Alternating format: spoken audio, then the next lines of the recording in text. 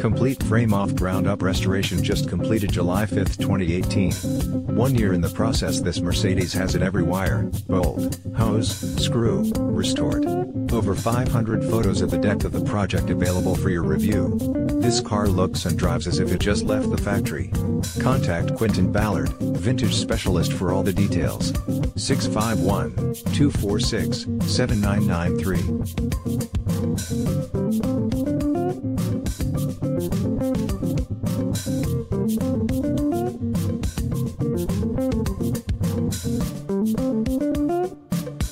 うん。